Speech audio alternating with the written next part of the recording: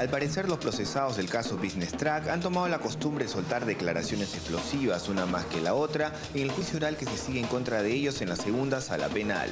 Si hace algunas semanas el marino Martín Fernández Virgües vinculó al ex premier Jorge El Castillo y al ex ministro de Salud Hernán Garrido Leca con el proceso de investigación inicial en la Dirandro, el viernes Carlos Tomasio de Lambarri, gerente operativo de Business Track, sostuvo que la investigación en contra de la empresa fue ordenada por el propio presidente Alan García. Simplemente este caso vino desde una orden desde arriba. La Dirandro trabajó como si fuera un caso de narcotráfico. En narcotráfico a usted le tiran polvo blanco y no importa lo que diga. Fue una orden directa del presidente de la República. Y lo ha dicho el general Hidalgo. Lo ha, dicho el general Hidalgo. El general Hidalgo lo ha dicho y el general Hernani y el general Remicio, al que a los cuales hemos llamado como, como testigos, van a testificar eso. Señala de que las órdenes que recibía el personal de la, de Arinandro venían de en ese entonces el general Hidalgo, que también recibía órdenes del presidente. Y así lo ha señalado eh, este señor, por lo que se le ha solicitado su presencia como testigo en el proceso para que pueda declarar al respecto. No fue lo único que Tomasio dijo durante y después de una audiencia que no estuvo exenta de ciertos hechos simbólicos y de frases que quizás para más de uno adquieran connotaciones distintas.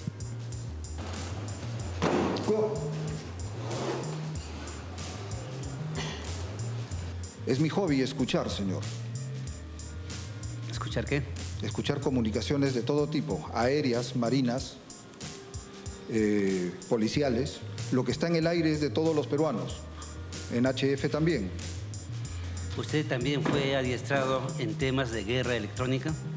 Sí, señor. ¿Qué instrumentos comprende eso?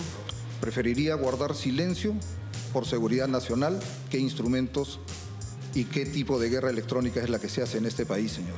Al igual que otros procesados en este caso, como Giselle Gianotti, Tomás insistió con que la cadena de custodia de las pruebas que se les incautó fue violada para cuidar intereses de terceros. Puso como ejemplo el caso de una computadora personal suya y luego a su salida la forma particular en cómo personal de la Irandro llevó a cabo la investigación cuando sus indagaciones se toparon con callos bastante grandes hay algo muy peculiar en algún momento que le ocurre al señor Ponce y quizás él deba explicarlos, pero le voy a adelantar. En una audiencia de verificación, uno de los mayores de la policía dice, es la voz de Alan García. En ese momento se para todo, salen los fiscales. Eso está en el proceso. Y el abogado del señor Ponce, yo no debería estar hablando por él, pero ya que usted me pregunta... ¿Quién lo paró? ¿La jueza paró la, El fiscal, en la Dirandro, señor. En la Dirandro. Pararon todo, congelaron todo.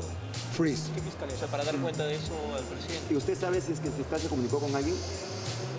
Mejor le hacen, le hacen la pregunta al señor Ponce, por Más allá de tomar con pinzas los dichos de Tomasio sobre el presidente, resulta curioso que sus declaraciones más polémicas estén relacionadas a la futura aparición en el proceso de Elías Ponce Feijó, el gerente general de BTR. Si esto es lo que afirma Tomasio, ¿qué podría decir el marino Ponce Feijó, muy cercano en su momento al vicepresidente Luis Pietri y según sus propios dichos también al presidente Alan García? Lo que está señalando es lo que le ha manifestado su coprocesado ¿no? Eh, en todo caso, quien dará mayor abundamiento a esta información será el señor Ponce cuando le toque interrogar. ¿Nos esperan más sorpresas en las declaraciones del señor Tomasio en las sesiones que se vienen? Bueno, no sé a qué le llaman sorpresas, pero de todas maneras va a haber información eh, que, no, que no dominaba la, la opinión pública. ¿no? ¿Esto forma también parte de la estrategia de defensa? No, no, no, no forma parte de la estrategia de defensa. Nosotros tenemos una teoría del caso que la cual ya lo estamos aplicando a lo largo del juicio oral. Quizás las declaraciones de Tomasio no formen parte de su estrategia de defensa, pero la negación de los hechos sí que lo es. A diferencia del marino Fernández Virgües, que ha aceptado su responsabilidad en la interceptación de las conversaciones de Rómulo León y Alberto Kimper, Tomasio ha sostenido que esas grabaciones llegaron a Business Track solo para un análisis. A comienzos de este proceso, la defensa de Ponce Feijó sostuvo que esta información había sido entregada por personajes como el presidente García o el ex premier del Castillo. Mucho de este, de este caudal probatorio fue entregado por estas personas. Y fue entregado por estas personas, por lo cual no existiría ilicitud. Si usted tiene conocimiento. Sí. Salió en cuarto poder un día domingo en la noche. Ahora, ¿participó usted en esas No, señor. Dice que usted sabía, tenía conocimiento de, estas, de estas transcripciones. Perfecto, Fernández Virgües lo dice. Jurídicamente, jurídicamente el señor Fernández Huíguez, o más que el señor Fernández, el Ministerio Público debe de probar que yo sabía. Señor Tomás, usted, usted le entregó al señor... Yo no lo sabía. Que analizamos que habían unos grandes ladronazos detrás del tema. Caso, Déjeme decirlo que hubo- después. en todo caso, Déjeme decirlo que después. hubo. Teniendo en cuenta todo esto, mañana continúa la audiencia con el interrogatorio a Tomasio. Se espera que dentro de una semana o dos, Elías Ponce Feijó ofrezca también su declaración. Habrá más sorpresas. Cosa curiosa, pero con el final del gobierno aprista, este caso parece empezar a tomar un rumbo completamente distinto. Y vamos a ver qué hace el Ministerio Público con los nuevos elementos que están surgiendo en este caso.